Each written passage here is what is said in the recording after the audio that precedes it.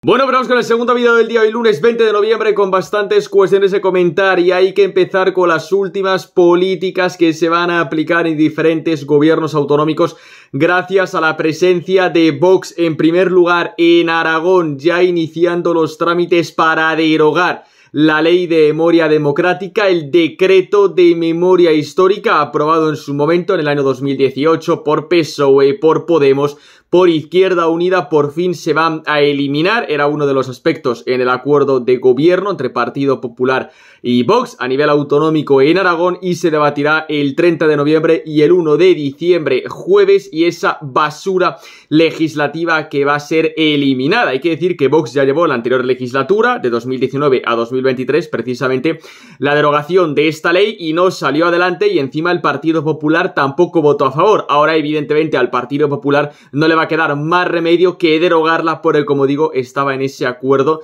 de gobierno con Vox y ya es hora, ya es hora de que el socialismo, la izquierda, el separatismo, el comunismo deje de mentir, deje de manipular y deje de falsificar la historia y todas esas leyes basura, todas esas leyes ideológicas, todas esas leyes de la mentira, la estafa, la manipulación y el engaño, por supuesto que deben ser derogadas inmediatamente y no se pueden mantener en la legislación, así que fantástica noticia, por supuesto, lo anunció Alejandro Nolasco, vicepresidente de Aragón, líder de Vox en esa eh, autonomía. Ya, como digo, se va a derogar esta ley la próxima semana. También en Castilla y León marcando récord de exportaciones, aumentando un 15%, mientras que en el resto de España no para de caer esa consejería de industria y empleo que tiene Vox. Además, más turismo, más empleo, mejores datos económicos. ¿Por qué? Porque cuando se tiene voluntad, las políticas cambian. Cuando a la gente eh, la dejas trabajar, Ah, bien, evidentemente las cosas mejoran, las cosas cambian y todo va a mejor. Ocurre en Aragón, ocurre en Castilla y León y ocurre en cualquier gobierno municipal y autonómico del que Vox forme parte. Y también Ignacio Garriga en esa rueda de prensa de todos los lunes hoy en la sede nacional Calle Bambú dirigiéndose al Partido Popular sobre el Senado, que tiene que convertirse en un bastión de resistencia contra el gobierno y la tiranía sanchista de Pedro Sánchez. Una vez más, Ignacio Garriga, dirigiéndose al Partido Popular, no tramitéis la ley de amnistía en el Senado que tenéis mayoría absoluta en la mesa de la Cámara Alta para evitarlo y no hacerlo, y además también esa proposición para ilegalizar a las formaciones políticas separatistas, formaciones ilegales en cualquier país decente, Portugal, Italia, Francia, Alemania, etcétera, etcétera. ¿Qué es lo que va a hacer el Partido Popular? Bueno, pues creo que no hace falta ser un experto para saberlo. Por supuesto que tramitarán la ley de amnistía y por supuesto que no aceptarán la propuesta de Vox de ilegalizar las formaciones políticas separatistas. Pero bueno, ya lo hemos explicado muchas veces. Tristemente hay que pactar con el Partido Popular, pero eso evidentemente no es incompatible a decir que por supuesto el Partido Popular es un freno a los patriotas y el día que el Partido Popular desaparezca, ese día España podrá crecer a nivel económico, a nivel político y prosperidad y crecimiento. Pero hasta que eso no llegue no va a haber nada que hacer. El Partido Popular, el absoluto freno a los patriotas, la absoluta estafa, la oposición inútil, cobarde que tiene que tener toda tiranía como el régimen sanchista y también por supuesto Ignacio Garriga animando a todos los españoles a acudir a esa huelga general convocada por el sindicato Solidaridad próximo viernes 24 de noviembre, ¿no? Y la pregunta, como digo, es evidente. ¿Va a espabilar alguna vez el Partido Popular? Pues creo que podemos decir, sin miedo a equivocarnos, que la respuesta es no. Hoy Borja Semper, del Partido Popular, se ha negado a felicitar a Javier Milei por su espectacular victoria en las elecciones argentinas de ayer domingo. Y bueno, el tuit de Feijo es lamentable. Felicitamos al pueblo argentino por haber votado en unas elecciones, bla, bla, bla, bla, bla, bla sin poner el nombre de Javier Milei en su Twitter. Es que estos son los complejos del PSOE azul. Y ya está bien esta puñetera vergüenza. Qué banda, qué ridículo completamente. Pero bueno, PP PSOE, la misma mierda es, o la misma mierda son. 40 años pactando con los independentismos, dándole poder, dándole competencias, haciéndoles que crezcan, pérdida alarmante del sentimiento de la patria, de la unidad nacional, valores básicos que tiene que tener toda sociedad, y bueno, el Partido Popular manteniendo todas y cada una de las políticas del PSOE, que sea el feminismo, que sea el cambio climático, que sea la memoria histórica y toda su basura ideológica. Esto es el Partido Popular, la mayor estafa del mundo. Luego hay alguna persona como Cayetana Álvarez de Toledo, por ejemplo, que ha ido a la COPE a defender a Santiago Abascal y a dejar bien claro quiénes son los socios de Pedro Sánchez. Golpistas, prófugos de la justicia, comunistas, amigos de asesinos de ETA, etcétera, etcétera. Pero vemos cómo el Partido Popular está o le dedica más tiempo a criminalizar a Santiago Abascal y a criminalizar a Vox que hablar de los socios del gobierno de Pedro Sánchez, de los amigos de la ETA, de los comunistas, de los golpistas, de los prófugos de la justicia.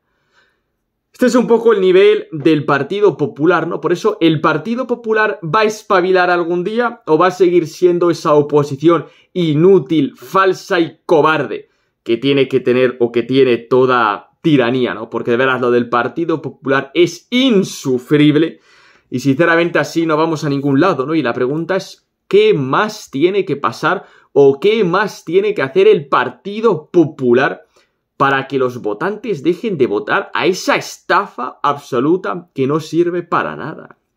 Y se den cuenta como la única alternativa es Vox y cómo es la hora de los patriotas. Pero ¿qué más tiene que hacer el Partido Popular? ¿Cuántas mentiras más tiene que lanzar el Partido Popular? ¿Cuánto o cuántos insultos a la inteligencia de cualquier persona decente? Tiene que lanzar el Partido Popular para que la gente deje de votar a esa puñetera estafa absoluta. Y claro, porque es que, ¿en qué tenemos enfrente? Enfrente tenemos al Partido Socialista y su golpe de Estado, con el fin del Estado de Derecho, con el fin de la igualdad ante la ley, con el fin de los principios básicos de nuestro ordenamiento jurídico y el control de todos los resortes del Estado, del Tribunal Constitucional, la Fiscalía, los jueces, eh, los medios, absolutamente todo, ¿no? Es decir, enfrente tenemos eso y a nuestro lado hay que aguantar al Partido Popular. Evidentemente tenemos a los peores en el peor momento, ¿no? Porque, bueno, hoy hemos conocido nuevos miembros del gobierno de Pedro Sánchez, ¿no? Óscar Puente, que perdió las elecciones municipales en Valladolid. Óscar Puente, el mayor parásito asqueroso, zángano, e, e, el bulldog que hay en el Congreso, le ponen de ministro de Transporte. Es cierto que, hombre, es muy experto en irse por ahí en yates de lujo y con Mercedes pagados por el contribuyente, por supuesto, ahí con contratos, digamos, no muy legal todo, ¿no? Em, de ministro de Transporte, Óscar Puente, ¿no? La Mema, la Mónica García de la Asamblea de Madrid, ministra de Sanidad, cuando no se ha puesto una bata en su puta vida. Félix Bolaños, el bufón de la Moncloa, aparte de seguir del el ministro este de presidencia, le ponen en justicia para asaltar todo.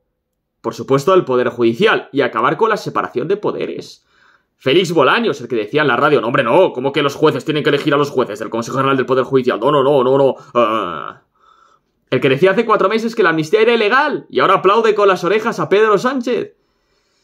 Pero bueno, evidentemente, claro, hay que aplaudir al, líder, evidentemente, para que nos den un puestecito, una paguita y, un carguito en un ministerio, claro. ¿Qué es lo que hay en el Partido Socialista? Auténticos hooligans y auténticos fanáticos. No hay otra cosa, ¿no? Eh, como digo, con el control absoluto de los tres poderes por parte del bufón de Pedro Sánchez, de Félix Bolaños, ¿no? Eh, estos son los ministros que vamos a tener en el gobierno. Por cierto, 22 ministerios. Javier Milei quiere dejar su gobierno en 8. 22 ministerios. Con la deuda pública que tenemos, con el paro que tenemos, con la presión fiscal que tenemos, 22 ministerios. Y se crean y se sacan de la manga el llamado Ministerio de Infancia y Juventud. Para corromper a los menores, evidentemente, y para corromper, vamos, a nuestros hijos nietos, sobrinos, primos, cualquiera. Ministro de Infancia y Juventud del Ministerio, que es, han puesto a una tía que viene de Izquierda Unida, que está en Sumar, que en un debate en 2019, para las elecciones del 26 eh, de mayo, las municipales del 2019, eh, dijo que Lenin no era un genocida y que quien dice que Lenin es un genocida es de extrema derecha y un ignorante. Lo dice esta payasa que no tiene ni puta idea de nada, que no ha leído una puta mierda, o peor, Sí lo sabe, sí lo ha leído, pero le da igual. Porque es una comunista y como buena comunista hay que defender a los asesinos, a los criminales. Esto es lo que tenemos enfrente. Esto es lo que tenemos que combatir. Y la pregunta es clara.